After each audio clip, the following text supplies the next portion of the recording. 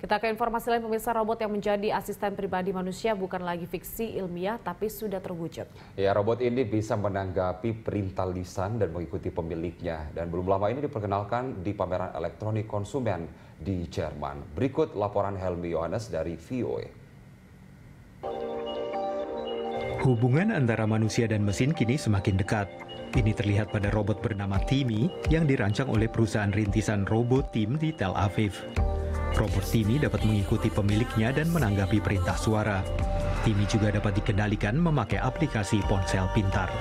If I tap this button, Timmy locks on my body and face, and it starts following my face and body. It tracks me, so I can enjoy hands-free video calls. Timmy memakai 16 sensor untuk membantunya berkeliling dan menghindari jatuh dari tangga.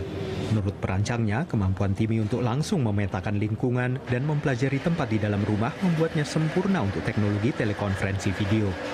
If I'm abroad and I want to read my kid a bedtime story, I can press on my phone Bobby's room, and the robot will drive to Bobby's room and I can read him a bedtime story.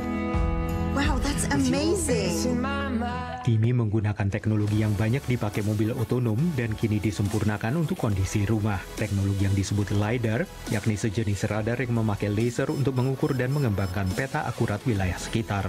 Menurut desainernya, ini pertama kali teknologi LiDAR digunakan di dalam rumah atau kantor untuk menghindari potensi bahaya secara waktu nyata. This obstacle avoidance and this navigation technology has never been uh, achieved in home robotics by any company, and it is one of the main reasons uh, which make this robot much more uh, user-friendly uh, for the home and office.